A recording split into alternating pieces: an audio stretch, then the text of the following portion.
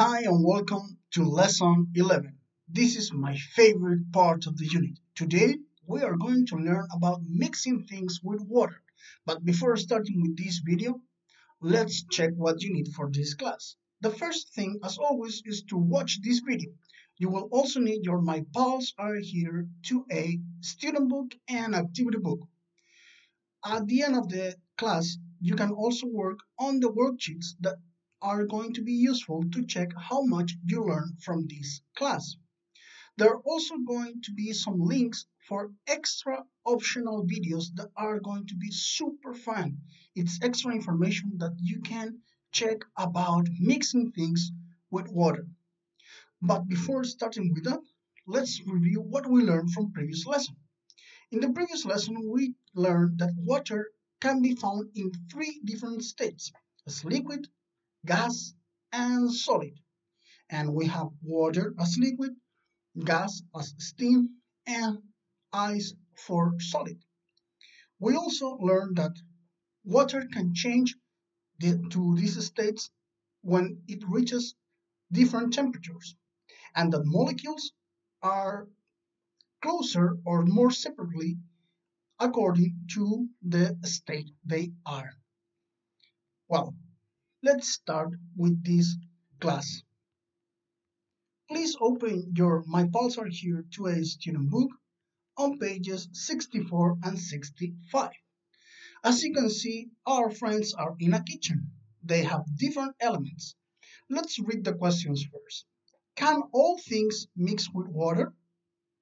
Which things float? Which things sink?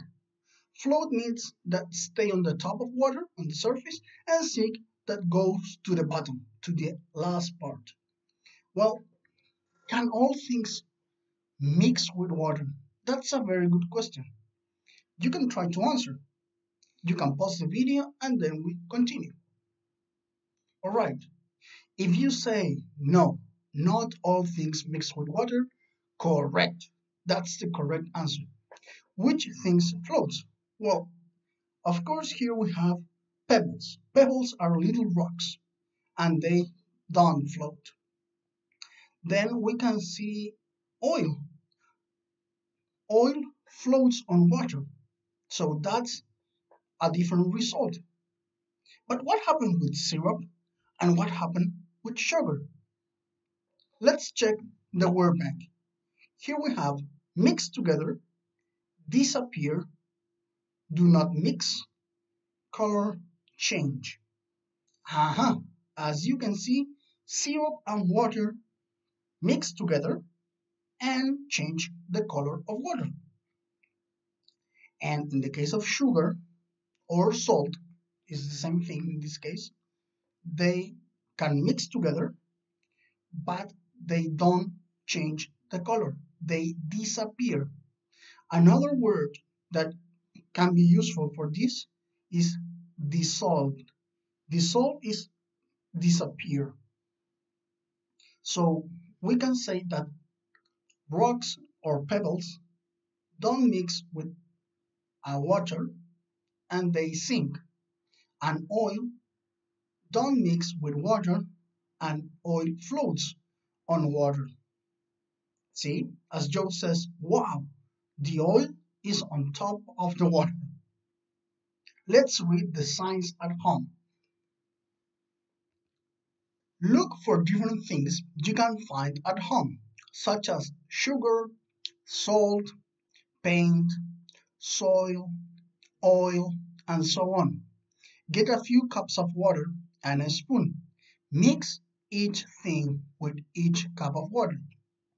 Which things disappear? Which things changes color, which things floats, which thing sinks. Hmm, it seems that you're going to do an experiment. But remember, you have to clean after doing the experiment. It's your responsibility as a scientist.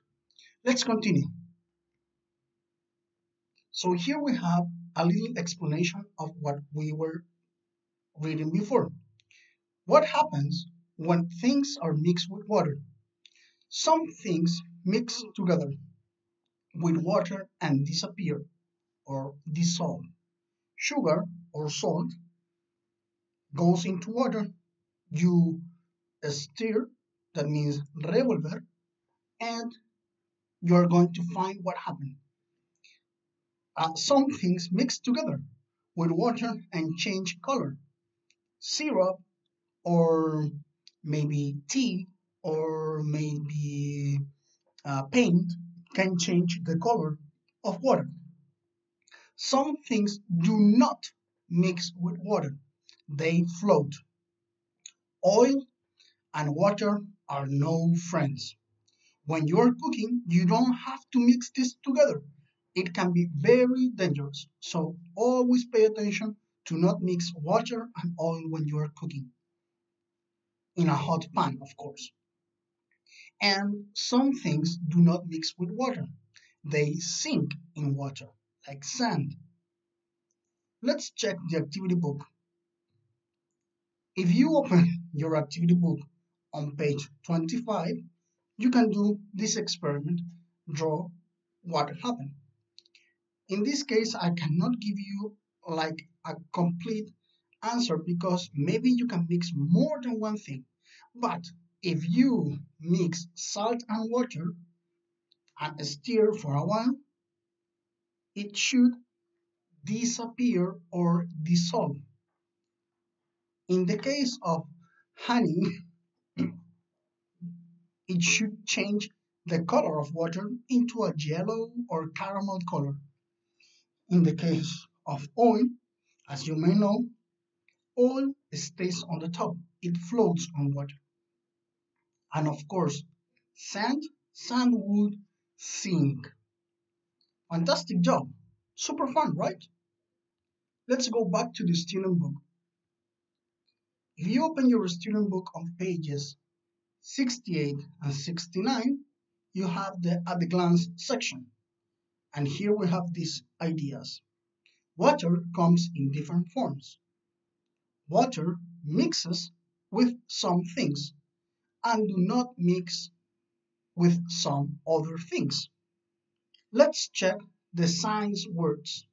Here we have water, no color, cold, mixed together, do not mix, ice, no smell, hard, disappear, float, steam, no taste, shape, change color, sink, and hot. Lots of words, but you already know most of these. So you have to pay attention to mix together and do not mix and change color, I think. Let's continue with the self-check. Here we have to use the words disappear, sink, or forms. Number one, water comes in different forms. Number two, water mixes together with some things. This thing will disappear or change color. Number three, water do not mix with some things. These things will float or sink. All right, so yes, we have some results. Let's check what we have learned from this lesson. Today, we learn that not all liquids are the same. Oil is also a liquid, and water uh, is a liquid too, and they are not the same. When we add things to water, we can get different results. Some mix, others sink, others get dissolved or disappear, and some others can float. Some things do not mix with water, and we can also change water texture, color, smell, taste, and more things when we add different things to water. This lesson is super nice because it opens the door for you to experiment. Remember, always be careful and clean after. Always you have to clean after you do experiment. It's important. Remember, um, that you can also watch the videos that are in YouTube if you want more information or extra things to learn. But as always, they are absolutely optional. I hope you have found this lesson. Bye bye. See you in the next one.